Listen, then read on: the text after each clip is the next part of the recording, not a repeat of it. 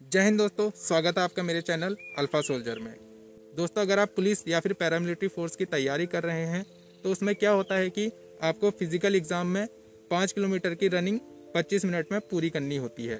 तो इस वीडियो में मैं आपको बताऊँगा कि पंद्रह दिनों के अंदर अंदर आप पाँच किलोमीटर की रनिंग की तैयारी कैसे कर सकते हैं। तो सबसे पहले तो मैं आपको बता दूँ दोस्तों कि पंद्रह दिन पाँच किलोमीटर की रनिंग की तैयारी के लिए काफ़ी होते हैं।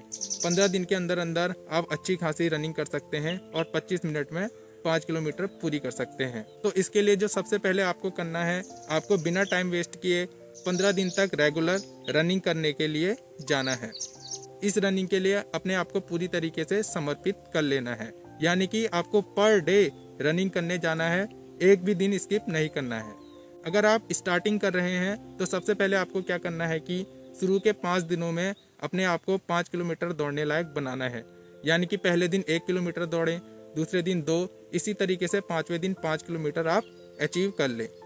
जब आप पाँच किलोमीटर रनिंग करने लगते हैं तो उसे रेगुलर आप करते रहें। धीरे धीरे क्या होगा, अपने आप आपकी स्पीड बढ़ने लगेगी। तो सीधे सीधे मेरे कहने का मतलब ये है कि आप अपना स्टेमिना बनाएँ ताकि आप पाँच किलोमीटर की रनिंग कर सके। ये नहीं कि आप बीच बीच में रुक रहे हैं।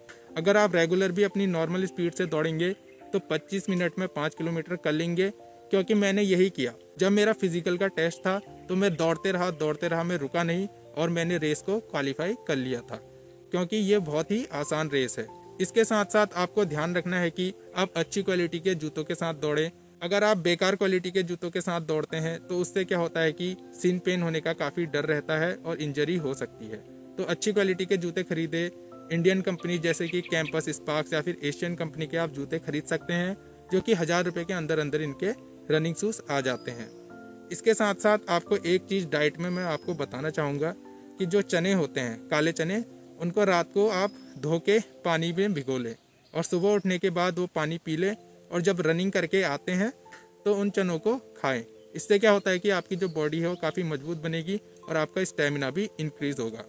अगर आप ये सिंपल चीज़ें करते हैं तो पाँच किलोमीटर की रेस आराम से कर लेंगे। इसके अलावा आपको कुछ भी करने की ज़रूरत नहीं है, बस मेहनत करते रहें। वीडियो अच्छी लगी तो वीडियो को लाइक करें और मेरे चैनल अल्फ़ा सोल्जर को सब्सक्राइब करें। Thank you.